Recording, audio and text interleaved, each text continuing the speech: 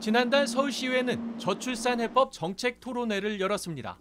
국립의료원 중앙난임-우울증 상담센터장도 참석했습니다. 고령의 난임 부부들은 임신이 어렵다고 합니다.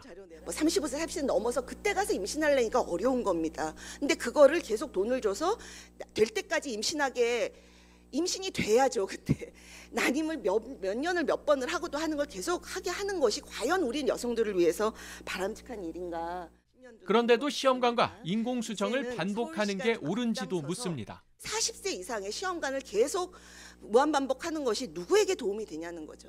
지원 횟수가 늘어날수록 환자들이 내 상태가 문제가 아니라 그 돈을 다 쓰지 않으면 내가 손해라고 생각합니다.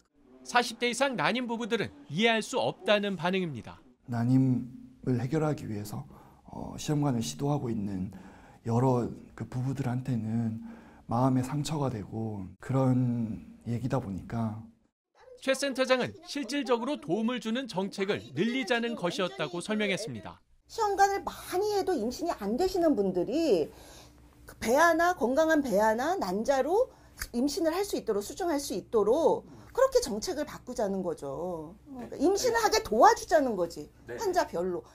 보건복지부는 이번 발언이 개인 의견일 뿐이며 나이와 상관없이 난임 지원을 늘리는 게 기본 방침이라고 밝혔습니다. JTBC 이한주입니다.